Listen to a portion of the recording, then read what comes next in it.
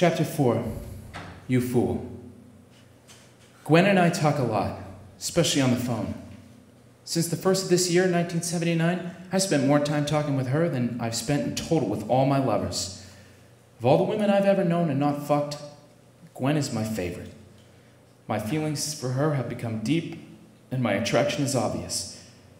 I think my strong attraction and feelings for her are why she asked me to meet her earlier today by Stow Lake and Golden Gate Park.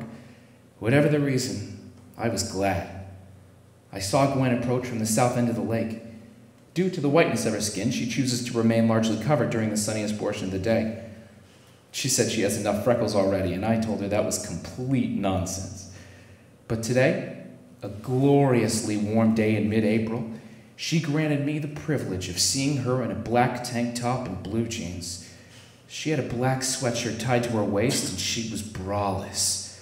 Her luscious strawberry hair was long, wavy, and without binding. She wore black high top Converse. She had to be the sexiest woman on the planet. I double checked my left front pocket for condoms and tried to subdue both an erection and an impulse to leer. Stop staring at me, you fiend. Sorry. She leaned over and gave me a full lip smooch. I was surprised. Our lips had not touched before. That was nice. Yes, it was. So, my place or yours? Is there ever a time you're not ready to pounce? Of course. Foreplay is fun too. I'm sorry. It's just. You look great. What's on your mind? I knew from an earlier phone conversation that she had things she wanted to say and issues she needed to discuss. But I also knew she would not be pressed. She would bring things up or not she saw fit. This was one of the more interesting, alluring, and maddening things about Gwen. She was in charge, not me. Things would go only as far as she would allow. I'd never been attracted to a woman so strong willed. But her strength was a complete turn on.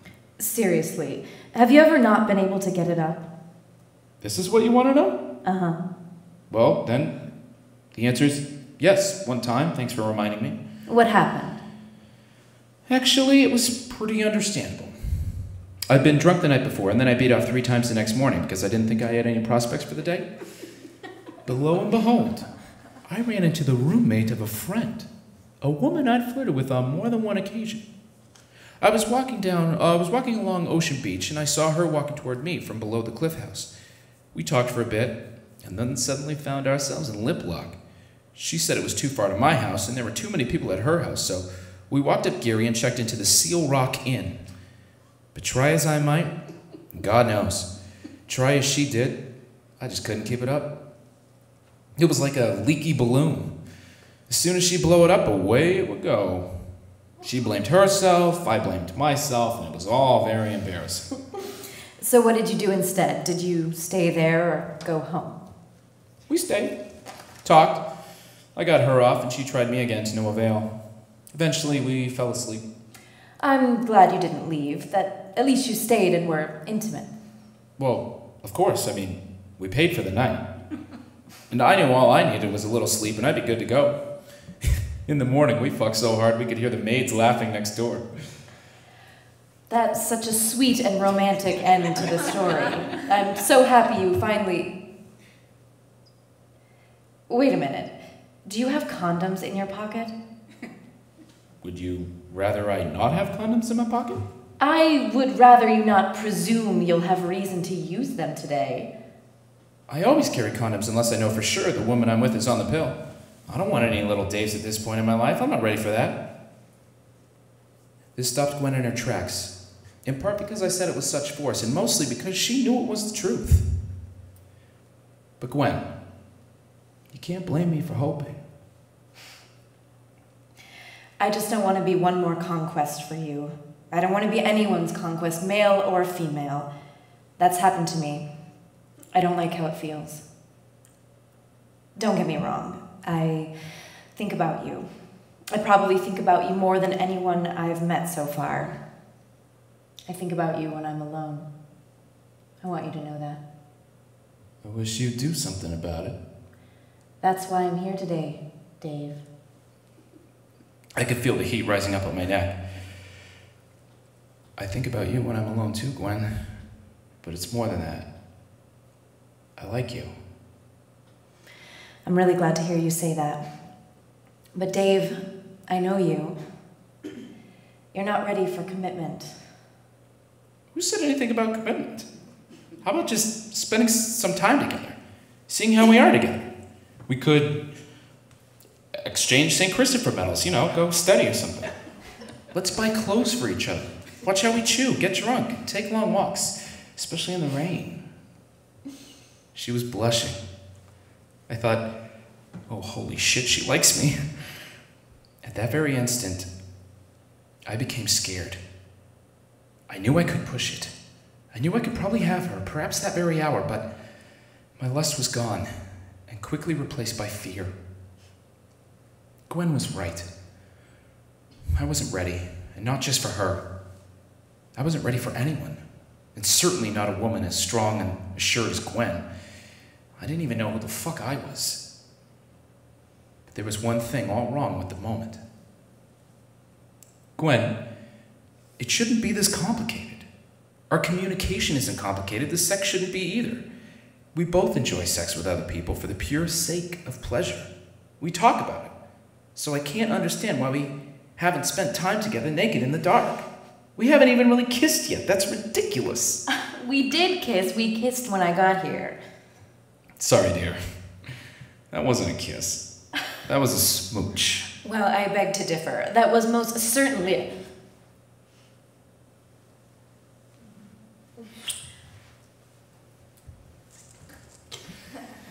I stand corrected. So now, Well, I guess, like you said, my place or yours. I released her and retreated to a straight back position on the bench. Neither. Let's go to Leon's on Sloat for some barbecue and then across the street to the zoo. What? I'm hungry. But Dave. No. You don't want to be a conquest, and I don't want to be a complication. Not right now, anyway. Let's just hang out today, have fun, and see where it takes us. I don't know whether to be pleased or hurt. I hope you're happy we're friends. When did you become so mature? As soon as I realized that was the surest way to eventually get you into bed. There's my Dave. We had a great day together. One of the best times I've had with any woman to this point in my life.